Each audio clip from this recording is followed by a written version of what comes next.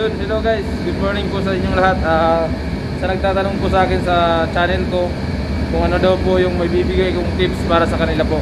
At sa, nag-message sa akin sa messenger. So, magbibigay po ako ng tips base lang po sa aking karanasan. Kumbaga, base lang po sa aking experience. Ang una kong ibibigay ng tips is kumuha ka ng passport.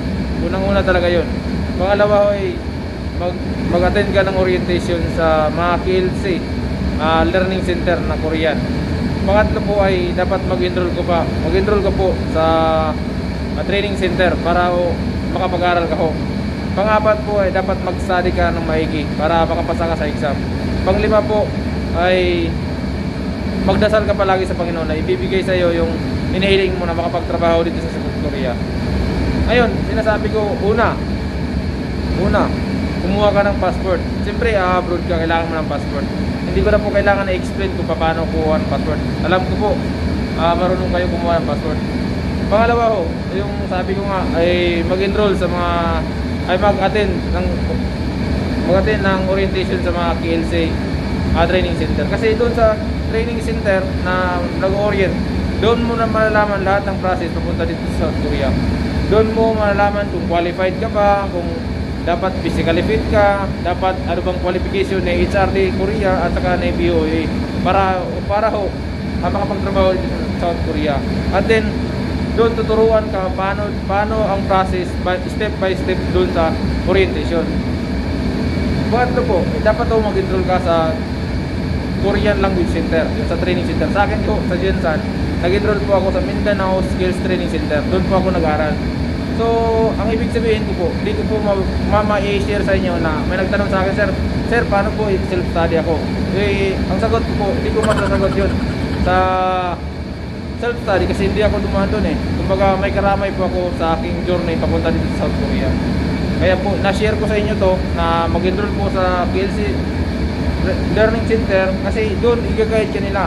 Ano dapat yung tuturuan ka nila kung paano magbasa, magsulat, at lahat ng mga dapat mong matutunan para maipasa mo yung exam. Yun po. Pangapat po is mag-study. So sa pag-study po, dalawa lang yan eh. Kung either masipag ka o either tamad ka. Doon yun lang yung dalawa. Kung masipag ka, eh, kumbaga nasa isip mo palagi, gusto ko makapagtrabaho sa South Korea. Kumbaga, yun yung goal mo eh. Kung tinatamad ka ay, kung tamad ka mag-study, ay may tropa ko, sabay-sabay ka lang, hindi yun pwede kasi yung goal mo makapagtrabaho sa South Korea.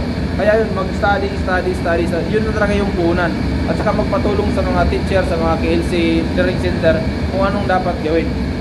Panglima po ay magdasal palagi. Siyempre, hilingin mo sa Panginoon na ibibigay sa iyo yung tawag ito. Ibibigay sa iyo yung makapagtrabaho dito sa South Korea. Ah, sana po nakatulong sa inyo yung tip kung kahit kunting kunting tips lang yung naibigay ko kasi nagmamadali may, may trabaho pa kasi ako. Kumbaga nawala lang yung boss ko.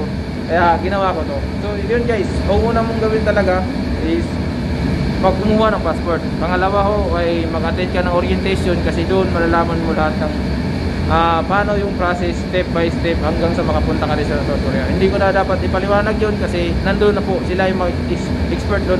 Baka magkamali pa po ako.